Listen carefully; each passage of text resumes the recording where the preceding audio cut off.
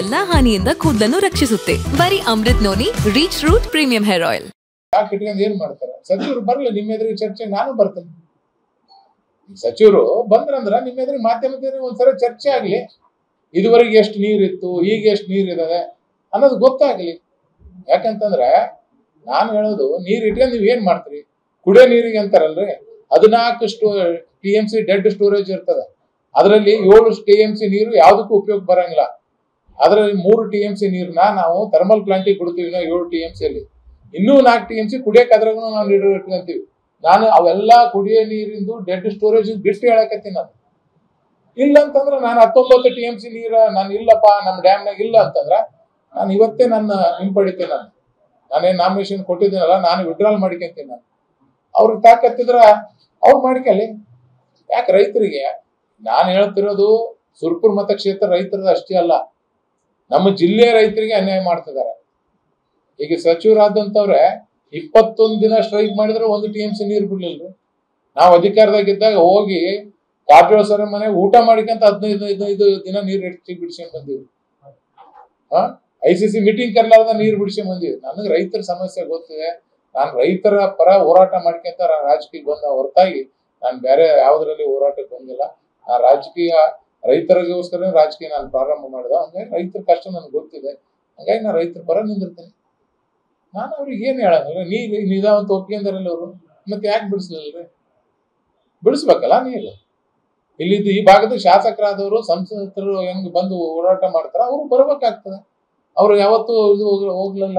ಯಾವತ್ತು ಮೀಟಿಂಗ್ ಅಲ್ಲಿ ಮಾತಾಡ್ಲಿಲ್ಲ ಅಂದ್ರೆ ಹೆಂಗೆ? ಈಗ ನಮ್ಮ ಸರ್ಕಾರ ಇದ್ದಾಗ ರಾಜ ಅಂಬರೀಶ್ ನಾಯ್ಕ ಸಾಹೇಬ್ರು, ನಾವು ಶಿವನಗೌಡ್ರು, ಎಲ್ಲರೂ ನಮ್ಮ ಸರ್ಕಾರ ಇದ್ರು ನೀರ್ ಬಿಡಂಗಿಲ್ಲ ಅಂದ್ರೆ ನಮ್ಮ ಸರ್ಕಾರ ವಿರುದ್ಧ ಹೋರಾಟ ನಾವು ಮಾಡಿದ ನಿದರ್ಶನಗಳು ನಿಮಗೆ ತೋರಿಸ್ತೀವಿ. ಅಂದ್ರೆ ಕಾಂಗ್ರೆಸ್ ಅವರು ಅಂತಂದ್ರ ಏನ್ ಮಾತಾಡಿದ್ರು ಅವ್ರ ಪಕ್ಷದ ವಿರೋಧ ಮಾತಾಡಂಗಿಲ್ಲ ಅವ್ರು. ಯಾಕೆ ಮಾತಾಡೋ ಇವ್ರು ಮಂತ್ರಿ ತೆಗೆದು ಹೋಗ್ತಾರ ಭಯ ಅದ. ಇವತ್ತು ನಮ್ಗೇನೋ ನಮ್ ಸಿದ್ಧಾಂತ, ಪಕ್ಷದ ಸಿದ್ಧಾಂತ ವಿರುದ್ಧ ದೊಡ್ಡವ್ರು ಯಾರು ಮಾತಾಡಿದ್ರು ನಾವು ಅವ್ರ ವಿರುದ್ಧ ಮಾತಾಡ್ತೀವಿ. ಈಗ ಅವ್ರು ಮಾತಾಡಲ್ಲ. ಯಾಕೆ ಪ್ರಿಯ, ನಾವ್ ಹೇಳಿದ್ವಿ. ಬಾಗಲ್ ಬಾಗಲಕೋಟವ್ರನ್ನ ಯಾಕ ಈ ಒಂದು ಐ ಸಿ ಸಿ ಮೀಟಿಂಗ್ ಅಧ್ಯಕ್ಷರು ಮಾಡ್ಬೇಕು? ಈ ಟೇಲೆಂಟ್ ಭಾಗದವ್ರು ಮಾಡ್ಲಿ ದರ್ಶನಪುರ ಅವ್ರಿಗೆ ಮಾಡ್ಲಿ, ನಾವು ಬೇಡ ಅನ್ನಂಗಿಲ್ಲ. ಪ್ರಿಯಾಂಕರಿಗೆ ಮಾಡ್ಲಿ, ಬೇಡ ಅನ್ನಂಗಿಲ್ಲ. ಶರಣ ಪ್ರಕಾಶ್ ಪಾಟೀಲ್ ಮಾಡ್ಲಿ, ಬೇಡ ಅನ್ನಂಗಿಲ್ಲ. ನೀವು ಮೇಲೆಯವ್ರ ಕೈಗೆ ಕೀಲಿ ಕೊಟ್ಟಾಗ ಅವ್ರು ತಮಗ್ ಬೇಕಾದ ನೋಡ್ಕೊಂತಾರ. ಅಲ್ಲಿ ಶುಗರ್ ಫ್ಯಾಕ್ಟ್ರಿಗಳು ಸಿಕ್ಕಾಪಟ್ಟೆ ಅವ ನಮ್ಮ ಭಾಗದಲ್ಲಿ ಒಂದೂ ಇಲ್ಲ. ಆ ಕಬ್ಬಿನ ಬೆಳೆನ ರಕ್ಷಣೆ ಅವ್ರು ನೋಡ್ಕೊಂತಾರ. ಅವ್ರು ತಪ್ಪನಂಗಿಲ್ಲ ಅವ್ರ ರೈತರ ರಕ್ಷಣೆ ನಾವು ನಮ್ಮ ರೈತರು ನೋಡ್ಕೋಬೇಕಲ್ರಿ? ನೀವು ರಾಜಗೌಡ ವಿರುದ್ಧ ಮಾತಾಡೋದು ಬಿಡ್ರಿ. ಏನ್ ಸತ್ಯದ ಅದು ಮಾತಾಡ್ರಿ. ರಾಜಗೌಡ ಸುಳ್ಳು ಹೇಳ್ತಾನದ ಬರ್ರಿ ಸವಾಲಿಗೆ. ನಿಮ್ಮ ಮಾಧ್ಯಮದವರಿಗೆ ನಾ ಸವಾಲ್ ಹಾಕ್ತೀನಿ. ನೀವೇ ತೀರ್ಮಾನ ಕೊಡಕ್ಕೆ ನಾನು ಹೇಳ್ತಿರೋದು ಎರಡನೇ ಪೀಕು ವಾರ ಬಂದಿ ಮಾಡಿ, ಮೊದಲನೇ ಪೀಕ್ ಯಾರು ವಾರ ಬಂದಿ ಮಾಡ್ಯಾರೇನು ಇತಿಹಾಸ ಡ್ಯಾಮ್ ಓಪನಿಂಗ್ ಆದ್ರಿಂದ ತೆಗೆದು ನೋಡ್ರಿ. ಸುಗ್ಗಿ ಪೀಕ್ನಾಗ ವಾರ ಬಂದಿ ಮಾಡಿಲ್ಲ. ವಾರ ಬಂದಿ ಮಾಡಿ ನದಿಗೆ ನೀರು ಹರಿಸ್ಯಾರ. ಎದಕ್ ನೀರು ಹರಿಸಿದ್ರೆ ನದಿಗೆ? ವಾರ ಬಂದಿ ಅಂತದೇನಿತ್ತು ಕಾನ್ಸೆಪ್ಟ್ ನಿಮ್ಗೆ? ವಾರ ಬಂದಿ ಕಾನ್ಸೆಪ್ಟ್ ಯಾವಾಗ ಸ್ಟಾರ್ಟ್ ಆಗ್ಯದ ಗೊತ್ತಾರೆ ಎಣ್ಣೆ ಬೆಳೆಗೆ ನೀರ್ ಕಡಿಮೆ ಆಗ್ತಾವ, ಮಳೆಗಾಲ ಕಮ್ಮಿ ಆದಾಗ ವಾರ ಬಂದಿ ಕಾನ್ಸೆಪ್ಟ್ ಇರ್ತಾವ. ಮಳೆಗಾಲದಾಗ ಯಾವ ವಾರ ಬಂದಿ ಮಾಡ್ತಾರ? ನನ್ನ ಜೀವನದಲ್ಲಿ ನಾನು ಮಾತ್ರವಲ್ಲ, ನನ್ನ ಕೂದಲು ಕೂಡ ಆಗಿರ್ಬೇಕು ಸ್ಟ್ರಾಂಗ್ ಅಂಡ್ ಸ್ಟೈಲಿಶ್ ಬರೀ Amrut noni reach root premium hair oil ನೊಂದಿಗೆ. Reach root premium hair oil ICC meeting ಇದ್ರಲ್ಲಿ ಕಳೆದ ಹತ್ತು ವರ್ಷ ತೆಗೆದ್ ನೋಡ್ರಿ. ಯಾವ ಸಚಿವರು ಯಾವ ಶಾಸಕರು, ಆ ಸಭೆಗೆ ಹಾಜರಾಗಿರ ನೋಡ್ರಿ ಗೊತ್ತಾಗ್ತದೆ. ಎಷ್ಟೋ ಜನ ಪುಣ್ಯಾತ್ಮರು, ಸಚಿವರು ಆಗ್ಲಿ ಶಾಸಕರಲ್ಲಿ ಮೀಟಿಂಗ್ ಬರ್ಲಾರ್ದೇನೆ ಎಂ ಎಲ್ ಎ ಆಗ್ತಾರ, ಅವ್ರ ಅದೃಷ್ಟ. ಅವ್ರಿಗೇನ್, ಯಾವ್ದೋ ಒಂದ್ ಗಾಳಿ ಮೇಲೆ ಗೆದ್ದು ಬಿಡ್ತಾರ, ಅವ್ರಿಗೆ ರೈತರು ಯಾರಿಗೇನ್ ಗೊತ್ತದ.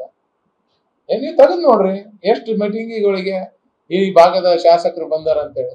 ಅವ್ರ ತಾಲೂಕಿಂದ ಅವ್ರ ಕ್ಷೇತ್ರ ಜನರು ನೀರ್ ಬೇಕಾದ್ರೆ ರಾಜಗೌಡರಿಗೆ ಫೋನ್ ಹಚ್ತಾರೆ. ನಾನು ಅವ್ರಿಗೆ ಹೇಳಿದೆ, ನಿಮ್ಮವ್ರಿಗೆ ಹಚ್ಚಿರಪ್ಪ ಅಂತ ಎಷ್ಟೋ ಜೇವರಿಗೆ ಭಾಗದವರು, ಶಾಪುರ್ ಭಾಗದವ್ರು ಫೋನ್ ಹಚ್ತಾರೆ. ಇಲ್ಲ ಸಾಹೇಬ್ರೆ, ನೀವ್ ಹೇಳಿದ್ರೆ ಒಂದ್ ನಮ್ಗೇನೋ ರೈತರಿಗೆ ಗ್ಯಾರಂಟಿ ನೀರ್ ಬರೋದು ಅಂತ ಅಂತಾರೆ.